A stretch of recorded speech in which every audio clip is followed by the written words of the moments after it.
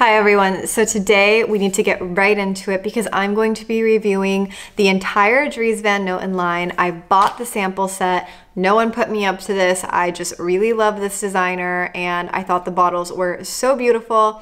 And I have been having kind of a hectic weekend. I wanted to have a chill video with you guys where we can just chill and smell fragrances together.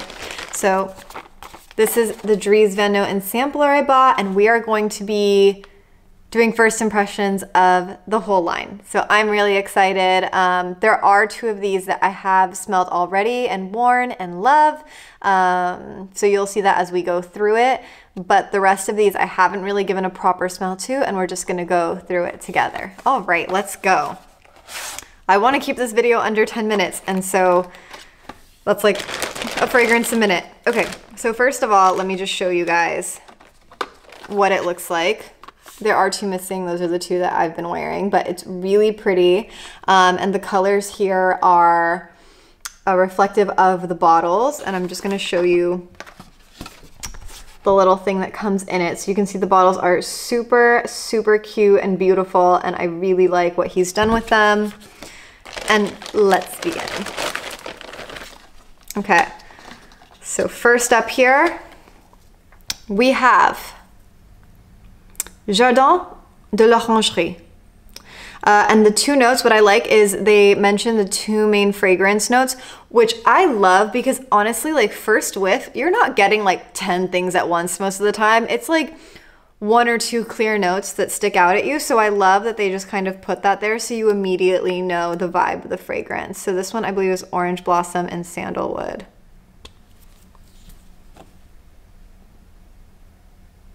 Accurate orange blossom, sandalwood. The orange blossom here is almost leaning gourmand, um, but gourmand meets white florals. I also get a really gardenia vibe to this orange blossom.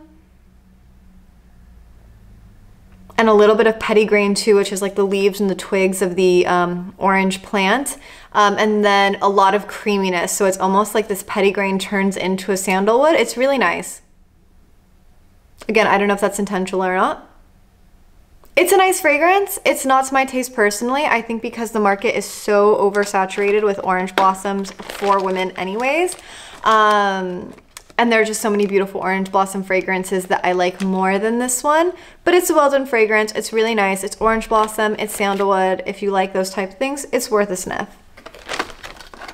Then after that, we have Fleur du Mal which I believe is a poem by Baudelaire. And the main notes here are supposed to be osmanthus and suede, and I'm excited because I love both of those notes. Yeah, I love this. It's exactly how it's supposed to be portrayed. Super elegant. I'm only getting two things right now, osmanthus and suede. If you don't know what osmanthus smells like, essentially it smells like apricots. We have a tree at Givaudan, and when it's in bloom, it's actually in bloom right now. All you can smell is like apricots for like 20 meters around. So if you like the idea of an apricot suede, incredible. Also, this one's super unisex. I would say the Jardin de l'Orangerie was leaning more feminine. It was a really sweet orange blossom. Okay, now we're getting to my empty spots on here. And so I think here was Rock the Myrrh. I love this fragrance. It's a really true labdanum fragrance, funny enough, even though it's called Rock the Myrrh, I really get a lot more labdanum from it. But it's just this really refreshing ambery fragrance. Not because it has like citrus notes or marine notes to make it refreshing. They were just able to add so much lift to this amber. Next up, we have Voodoo Chile. Which is supposed to be a rosemary patchouli. Mm. Hot. This one is super masculine. It is rosemary. I get more sandalwood than patchouli. I'm going to say that if you're not a patchouli fan, don't let that bother you. It's like an aromatic sandalwood. Really creamy, creamy wood. Also very interesting to have something so aromatic with something so creamy. It's unisex, but I personally find rosemary to be very masculine, so I couldn't wear it. But if you like aromatics, definitely try the Voodoo Chile.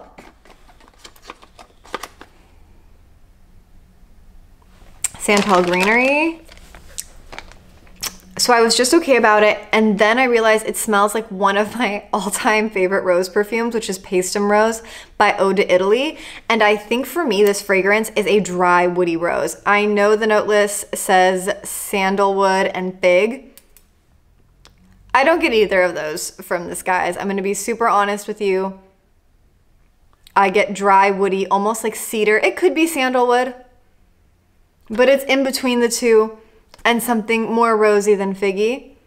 So if you're looking for a figgy sandalwood, go to Philosykos. But if you want a dry rose, a really good dry, almost instancey rose, the Santal Greenery is really, really good. Cannabis Patchouli. This is the most cannabis fragrance I have smelled so far.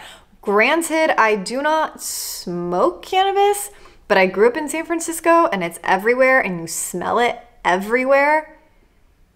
And I smelled black Afgano and I didn't get cannabis. Here I get cannabis, so kudos. I don't know who the perfumer behind this is, but they really captured the smell and it's pleasant. And I'm not someone that normally likes the smell of cannabis, but so, you know, take that with a grain of salt but it is very pleasant for my cannabis fragrance. I really wasn't expecting to like that as much as I did. Raving Rose.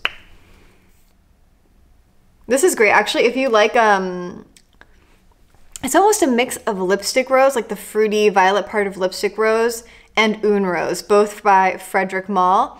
But then both of those I think have pretty good like performance. And this one, it's it seems like it's going to be more moderate, I would say. But it is a nice mix of those two, and those are obviously both Rose masterpieces. So if you like Rose, I say Raving Rose is absolutely worth a sniff. Now we have Rosa Carnivora.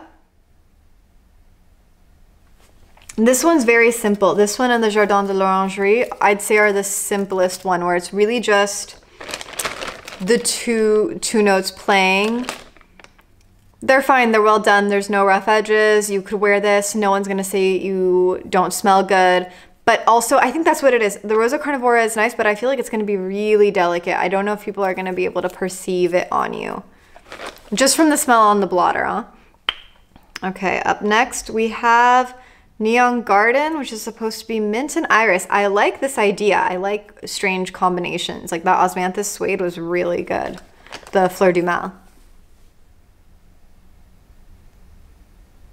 Okay, I get a lot of iris and just a little bit of mint. It's actually a really good combination, but I want this fragrance to be louder. It's not giving me the projection that I want off of the, um, the paper. And the last spot um, is a fragrance that I've been wearing and it's Soie Malaquais. It's supposed to be chestnut and silk and obviously silk doesn't really smell much. Um, but it does have this like nuttiness, this woodiness, vanilla and amber, and it's delicious. Actually, it smells really, really good, and it was a love at first sniff for me. And it's also my favorite bottle of the collection. But at least on me, and I've, I've seen other reviewers say differently, I'm not getting a lot of performance from it, neither in longevity nor projection. So while it's a beautiful fragrance, yeah, it's very ephemeral. I wear my sample, but I never smell myself after three hours. The ones that I've been wearing the most are the Soie Malaquais. Unfortunately, like I said, it is a bit delicate. Rock the Myrrh is just awesome. It has great performance, great longevity, beautiful bottle. Um, and I also want to give more of a try to the Fleur du Mal, but I have a feeling it's these apricotty notes like on my skin i think it just eats them always. So i don't think i'm gonna get the projection out of that that i want. But anyways i hope you guys enjoyed this video and um, yeah. Let me know if you've tried any of the Dries Van Noten and if so which are your favorite your favorites? And i'll see you guys in the next video. Bye everyone